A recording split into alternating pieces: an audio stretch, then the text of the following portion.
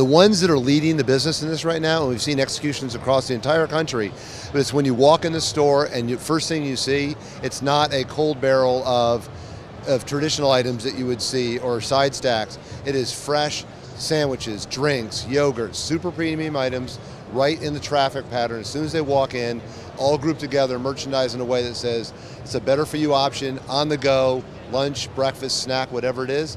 That is the best execution. It's a huge investment for stores to make.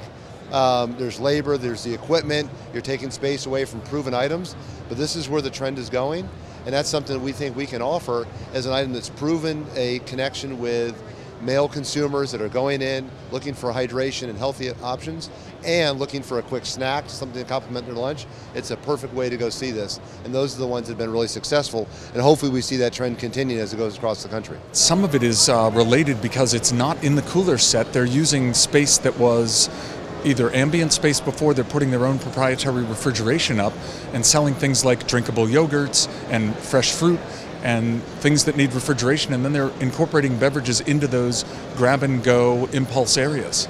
Everything's sold in a cold vault in a C store, so I don't know if it's really being merchandised any differently, or I guess it's more about the distribution, how it's getting there, because of these these perishable brands that aren't shelf stable, needing to get on their a KeHE or a UNFI truck to get there.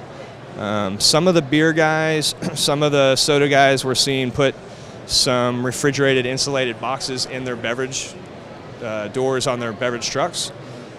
I don't know, you know, that, there's a lot of people that are testing that. I haven't, it's not widespread. It's kind of expensive, but I think we're going to start seeing more and more, you know, perishable beverages show up in this channel. Yeah, I think that's a bit of an adventure for them right now. I mean, honestly, it's uh, they look across the categories and they see some of their categories shrinking, like CSDs, uh, juice has been shrinking. Uh, you see milk that's been shrinking. I think I think that to a certain extent, it's been a little bit of a, of a land grab meaning that they're just reaching out to try to figure out, you know, what can work.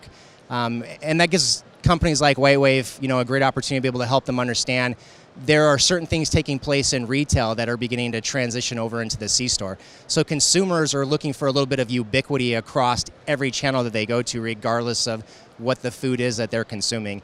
And in our role, you know, we have a great leadership position with Silk being the number one plant-based beverage brand and the Almond platform being the number one uh, platform within the category in retail.